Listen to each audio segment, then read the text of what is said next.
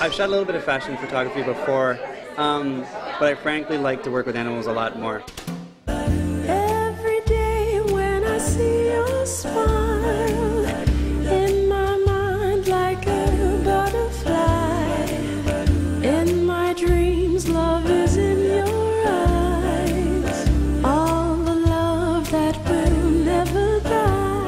Started shooting the animals one by one in these sort of passion poses, and uh, and then I wanted to sort of have them be a group and like being sort of like a Vanity Fair cover where there's like too many stars looking way too perfect. The only way to do that is with a computer, with photoshopping and putting them together.